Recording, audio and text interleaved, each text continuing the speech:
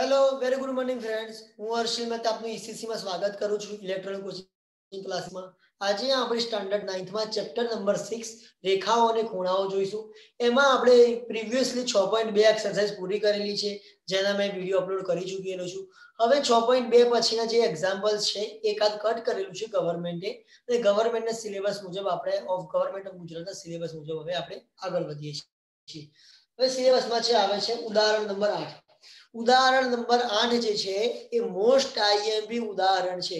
એ તમારે દરેકે કરી જ લેવાનું ઉદાહરણ નંબર આઠ શું છે એની રકમ પહેલા તો standard nine standard nine maths chapter number six રેખાઓ અને ખૂણાઓ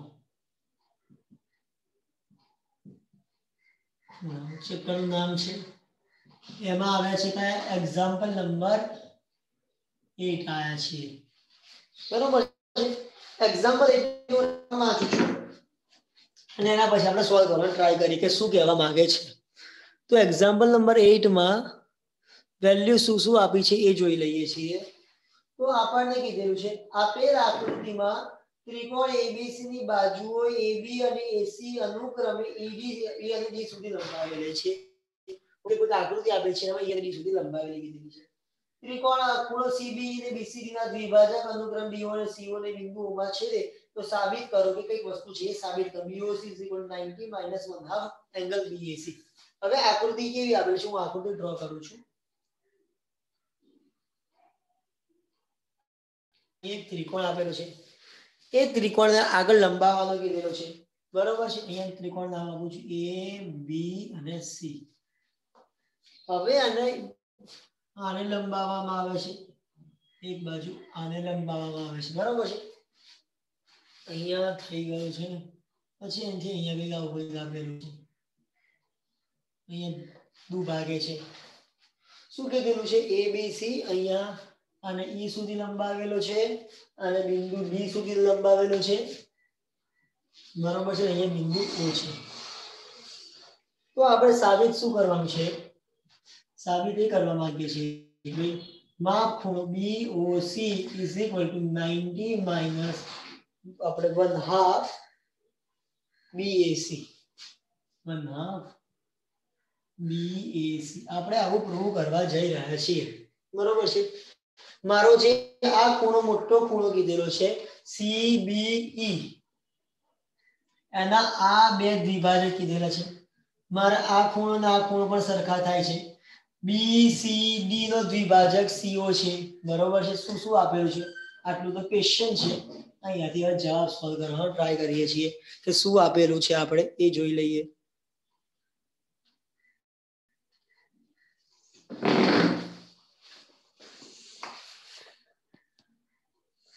શું આપેલું છે આપણે જેમાં પ્રમાણે સોલ્વ કરવાનો ટ્રાય કરીએ છીએ ફરીથી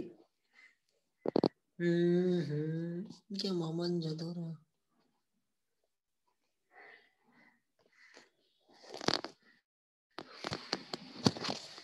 બરોબર છે ઓકે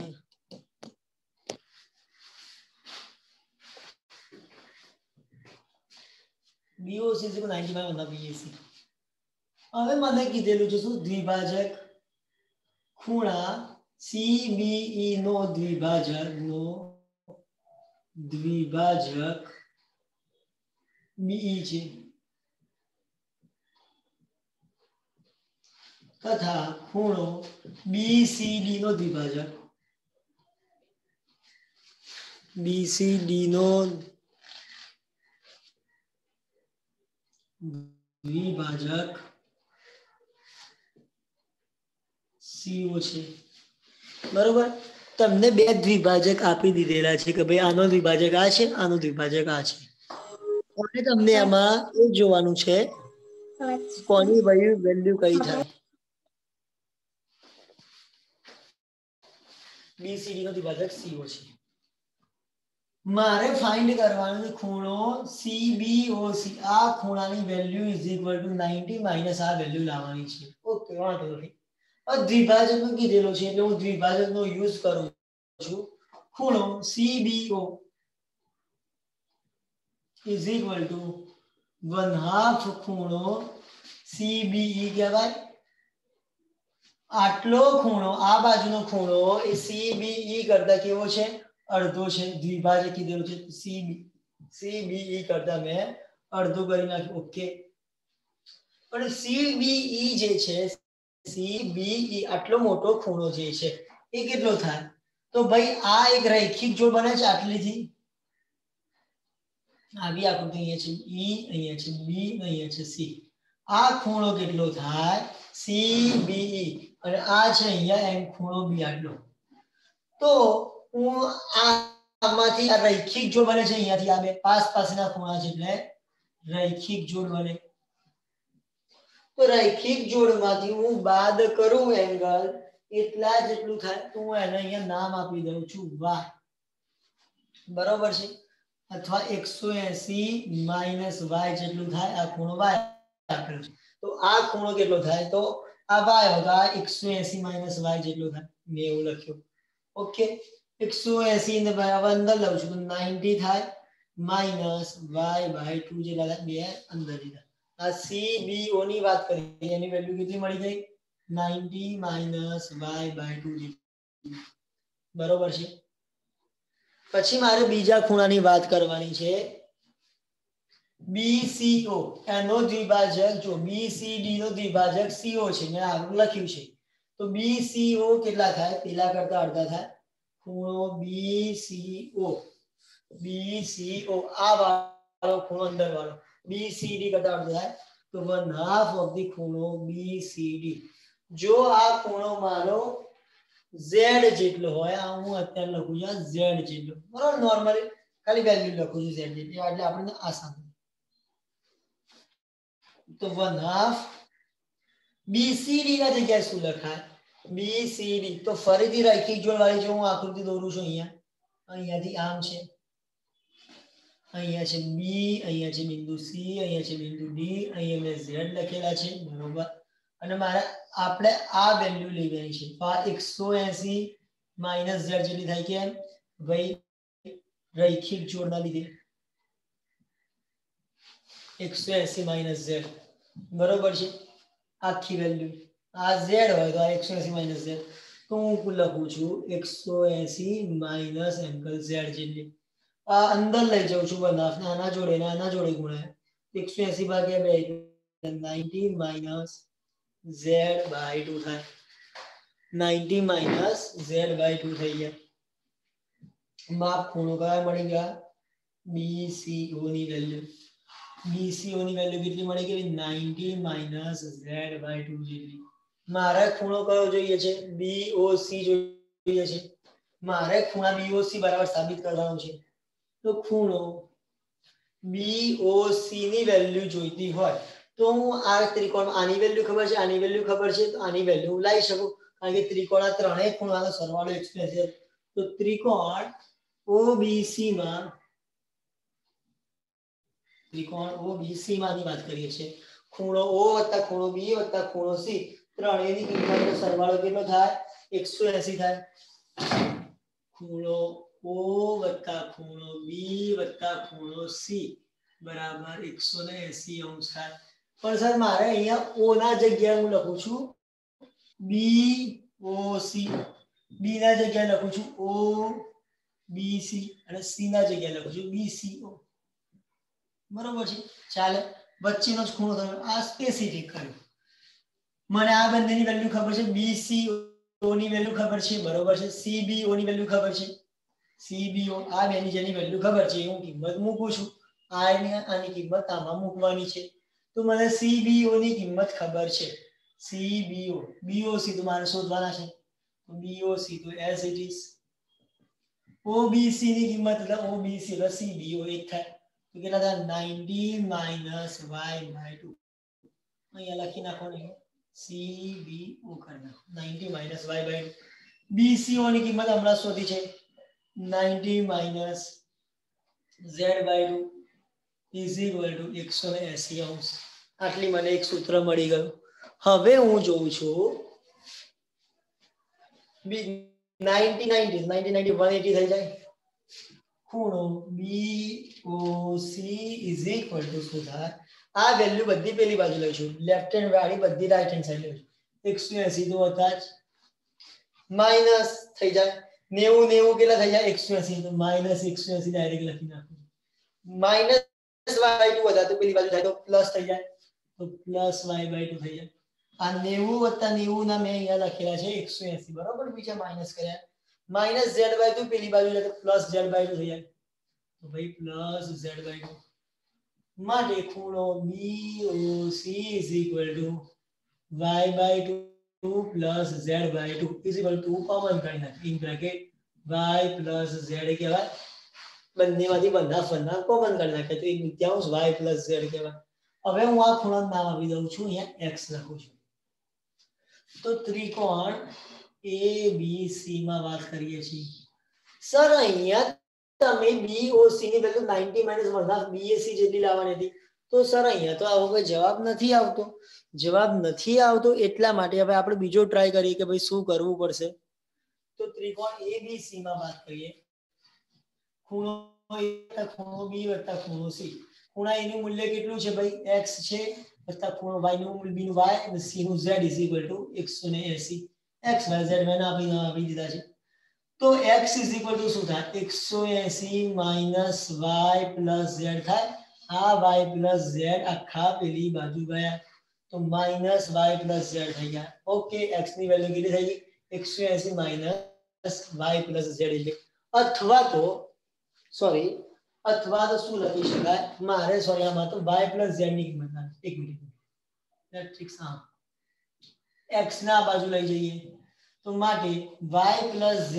180 minus x લખાય x ના બાજુ લઈ જવાના હતા હા તો y પ્લસ z જગ્યા શું લખાય x x ની કિંમત સમીકરણ આમાં મુકતા અહીંયા સમીકરણ નામ આપી દઉં છું 1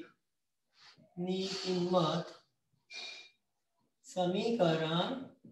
1 માં મુકતા તો ખૂણો BOC ½ y z y z જગ્યાએ શું લખવાના છે 180 x લખ્યા તો મેં વન હાફ એકસો એસી માઇનસ એક્સ લખી દીધા હવે શું મળ્યું વન હાફ જે હતા એ અંદર ગુણાયા આના જોડે ને આના જોડે તો ભાઈ એકસો એસી ભાગ્યા બે એટલે નેવું માઇનસ એક્સ બાય થઈ ગયા પણ એક્સ ના જગ્યાએ કેટલા છે ખૂણો એક્સ તો આ છે એક્સ બરાબર શું લખાય બી એસી લખાય ninety minus B AC by two અથવા one half one half 1/2 easy આ ખૂણો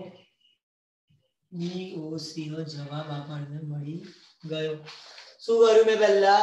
તો આ નું ભાગ છે આ નું ભાગ છે બંને વસ્તુ એકબીજાને દુ ભાગ દીધી તો મે પહેલા અંદર તો ખૂણો CBO લીધો BCO લીધો એટલે આ ખૂણો આ ખૂણો મળી ગયો ત્રિકોણ લીધો નીચે વાળો ત્રિકોણ ત્રિકોણ આયો છે આમાં ત્રિકોણ સરવાળો કેટલો થાય 180° થાય આય ત્રિકોણ OBC અહીંયા છે ઓ અહીંયા છે બી ના ત્રિકોણ સી મેં ઓબીસી લીધું તો ઓબીસી માં મને વેલ્યુ મળી ગઈ છે બરોબર એટલે માટે મને સી ની વેલ્યુ મળી બીઓસી ની વેલ્યુ કેટલી મળી તો ભાઈ y by 2 plus z one half y plus z જેટલી મળી one half y plus z જેટલી વેલ્યુ મળી જાય છે ઓકે તો પણ આપણે જવાબ જે સાબિત કરવાનો છે એ આવતો નથી તો એ લાવવા માટે મારે શું કરવાનું પછી મેં ત્રિકોણ ઉપર વાળો લીધો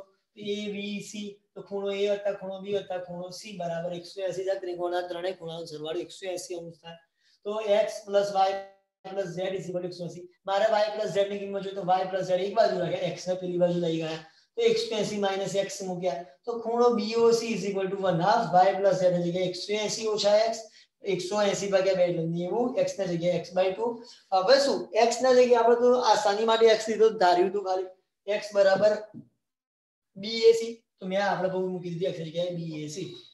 તો આપણે જે સાબિત કરવું છે એ વેલ્યુ મળી જાય છે આપણને હવે જોઈએ છે આના પછીનો ગવર્મેન્ટે છ પોઈન્ટ ત્રણ માંથી ખાલી એક જ દાખલો કીધેલો છે તો સ્વાધ્યાય છ પોઈન્ટ ત્રણ નો ચોથા નંબરનો દાખલો હવે જોઈએ છીએ જે ગવર્મેન્ટે કીધેલો છે એ જ જોઈએ છીએ શું કહેવા માંગે છે દાખલો પહેલા હું બતાવી દઈ સ્વાધ્યાય છ પોઈન્ટ ત્રણનો ક્વેશ્ચન નંબર ફોર્થ છે હવે ગવર્મેન્ટનો છે જોઈ લઈએ શું છે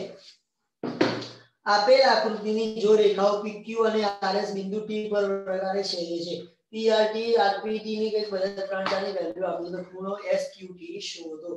ઓકે સારો એવો દાખલો છે ઈઝી દાખલો છે અહીંયા આવી કઈક આકૃતિ કઈક આપેલી છે તમને બરોબર અહીંયા છે P R T P R T અહીંયા છે એસ ક્યુ અહીંયા છે બિંદુ એસ અહીંયા છે બિંદુ ક્યુ આપણને આવી આકૃતિ આપેલી છે એક ખૂણાનું માપ આપ્યું છે નાઇન્ટી ફાઈવ ડિગ્રી એક ખૂણાનું માપ છે અહીંયા ભાઈ નાઇન્ટી ફાઈવ બરોબર કયો ખૂણો છે એ પી આરપીટી બીજો ખૂણો છે ચાલીસ નો ચાલીસ નો છે એક ખૂણો આપેલો છે આ સેવન્ટી ફાઈવ નો બરોબર છે આટલા મેઝરમેન્ટ આપેલા છે તો ખૂણો એસક્યુટી શું તો મારે આ ખૂણો શોધવાનો કીધેલો છે બહુ સિમ્પલ દાખલો છે પહેલા તો આટલી જ આકૃતિ હોય બરોબર છે આટલો ત્રિકોણ પી આટી તો આ ખૂણો તમને મળી જાય આ ખૂણો જે મળશે એની સામે આ દેખાય ચોકડી પડે છે તો અભિકોણથી આ ખૂણો મળી જશે ત્રિકોણમાં બે ખૂણા મળી જાય તો ત્રીજો ખૂણો મળી જાય આપણને તો સિમ્પલ લખ લો હું અહીં ગણવતરી બતાવુ છું પહેલા ત્રિકોણ પીઆરટી માંથી ત્રિકોણ પીઆરટી માં ખૂણો પી + ખૂણો પીઆરટી એટલે પી અથવા ખૂણા ની જગ્યા આરપીટી ખૂણો આરપીડી + ખૂણો પીઆરટી + ખૂણો પીઆરટી + ખૂણો PTR plus OP TR is equal to 180 આવશે જેની વેલ્યુ અહીં મૂકી દઈએ 95 છે પહેલાની વેલ્યુ આરપીડી ની 95 ડિગ્રી આની વેલ્યુ પીઆરટી ની વેલ્યુ 40 ડિગ્રી આપેલી છે આકૃતિમાં તો 40 ડિગ્રી તો પીટીઆર ની વેલ્યુ આના પરથી મળી જાય છે ઇક્વલ ટુ 180 માટે ખૂણો પીટીઆર ઇઝ ઇક્વલ ટુ 180 ઓછા નેવું વત્તા પિસ્તાલીસ પેલા બાજુ જાય બરોબર તો શું આન્સર આવે નેવું વત્તા પંચાણું વત્તા ચાલીસ સોરી પંચાણું વત્તા ચાલીસ તો પંચાણું વત્તા ચાલીસ એકસો ને પાંત્રીસ થાય આ બે પેલી બાજુ એકસો પાંત્રીસ માટે પી ટી આર નો જવાબ આવી ગયો ફોર્ટી ફાઈવ ડિગ્રી આ જે ટપકું કર્યું છે એનો જવાબ મને કેટલો મળી ગયો પિસ્તાલીસ અંશ મળી ગયો તો આ ટપકું બરાબર સામેવાળું ટપકું થાય કેમ કે સામ સામેલા ખૂણા ત્રિકોણ આ પણ જવાબ મળી ગયો પિસ્તાલીસ મળી ગયો હું લખું છું અહીંયા જો ફરી આકૃતિ પર સ્પેસિફિક કરું છું આવી આકૃતિ છે જો આ ખૂણો મારો પિસ્તાલીસ નો હોય તો આ ખૂણો પણ પિસ્તાલીસ નો થાય આર ટી પી અહીંયા છે એસ લખ્યું ખૂણો લખું છું S T Q is equal to ખૂણો પી ટી આર કેમ કે ભાઈ અભિગોણ આ આકૃતિ તમારા આ બતાવી નથી સમજવા માટે તમને આપી છે મેં દોરી તો માટે એસટી ક્યુ નો જવાબ કેટલો આવી ગયો ભાઈ પિસ્તાલીસ અંશ નો જવાબ મળી ગયો ફોર્ટી ફાઈવ ડિગ્રી હવે આ બે ત્રિકોણ ત્રિકોણમાં ભાઈ બે ખૂણાના માપ મળી ગયો તો ત્રીજો ખૂણો મળી જાય તો ત્રિકોણ ટીએસક્યુ માં કઈ કઈ વેલ્યુ આપેલી છે પહેલા એ જોઈ લઈએ તો એસટી ક્યુ ખૂણો એસ ટી ક્યુ પ્લસ ખૂણો